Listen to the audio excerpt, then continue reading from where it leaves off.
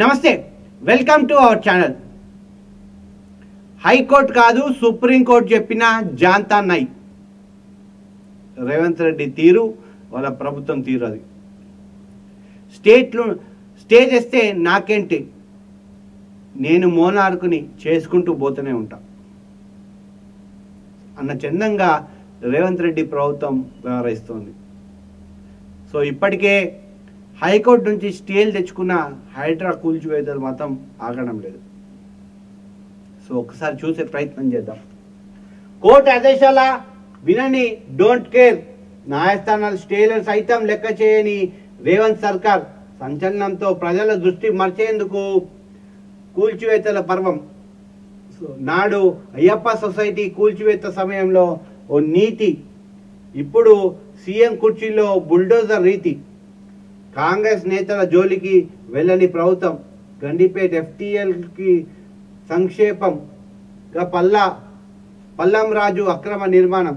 Hydraa కూల్చేయాలంటూ CM జాగపత్రిక తప్పుడు ప్రచారం. So అది షేర్లింగంపల్లి మండలం పరిధిలోని రాయదుర్గం ఒకటి నుంచి నలభై ఒకటి వరకు ఉన్న సర్వే నంబర్లో ముప్పై ఏడు ఎకరాల భూమి ఉన్నది. ఇది హైదరాబాద్ రిటర్నల్ చెందినది. దీని పూర్తిగా హక్కులు తమ వంశ పారపర్యంగా వస్తున్నాయంటూ కొన్ని కుటుంబాలు అక్కడ ఇండ్లు కట్టుకొని ఉంటున్నారు. ఈ వ్యవహారంలో హైకోర్టు పరిధిలో ఉన్నది.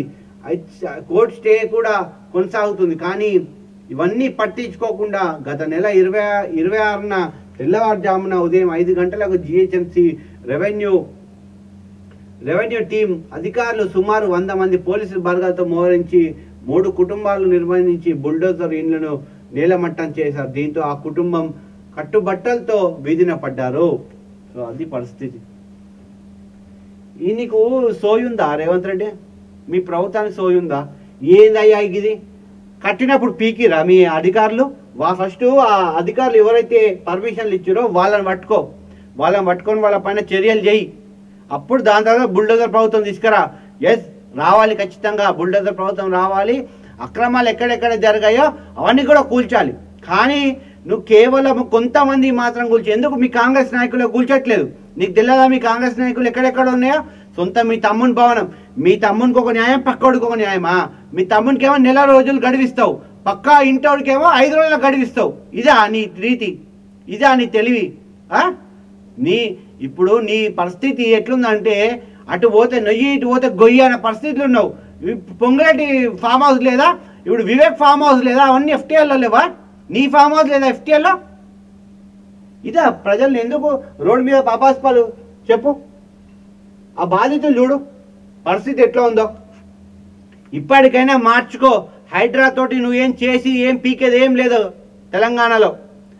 అర్థమైందా? మీ నీ కాంగ్రెస్ నాయకులు మీ పైన గుర్రుగున్నారు. నీ మార్క్ స్ట్రాటజీ పెట్టుకోవాలంటే నువ్వు ఒకలాగా ఆలోచించు. నేనేమంటావు? నేను ప్రెస్ మీట్లో రామ్నగర్ మనమ మనమ్మ గల్లీలోనే మొత్తం కూలగొడితే ఈరోజు హైదరాబాద్లో వరదలు మొత్తం ఆగిపోయినాయి. ఆ కూల కొట్టడంతో వరద నీళ్ళెక్కడ రామ్నగర్లో రాలేవని మాట్లాడతావు. నువ్వు కూలగొట్టి నీ కూలగొట్టి నువ్వు కరెక్టే. కూలగొట్టాక దాన్ని ఏమైనా అది చేసిరా మీరు? అది చూపిస్తా విజువల్స్ నెక్స్ట్లో కూడా.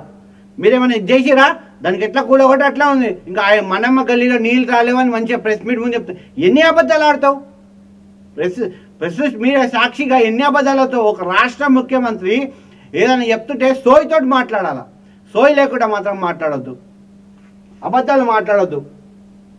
సో ఇప్పటికైనా ఇప్పటికైనా ఈ రా ఇప్పటికైనా హైకోర్టు సుమోటాగా తీసుకొని ఈ రాష్ట్ర ప్రభుత్వంపై మొట్టికలు వేసే ప- పని కూడా చేసింది. అటు సుప్రీంకోర్టులో కూడా అబాస్ పాలైనవు. అటు జాతీయ మీడియాలో అబాస్ పాలవుతున్నావు ఎందుకు తెలంగాణ ప్రజలపైన ఇట్లా తాకట్టు పెట్టే ప్రయత్నాలు చేస్తున్నావు? పక్క రాష్ట్రం చూసి నేర్చుకో ఒకసారి. అంటే నీకు చా ఇప్పుడు నీకు ఒకటే నీ బ్రాండ్ ఇమేజ్ పెంచుకునే ప్రయత్నం చేస్తున్నావు తప్ప ఇంకేం చేయట్లేదు నువ్వు. సో చూడాలి ఎట్లా ఈ బుల్డోజర్ను ఆపేస్తారు? ప్రజలపైన ఎట్లా తిరగబడడం ఆపేస్తారు అనేది కూడా చూడాల్సిన అంశం.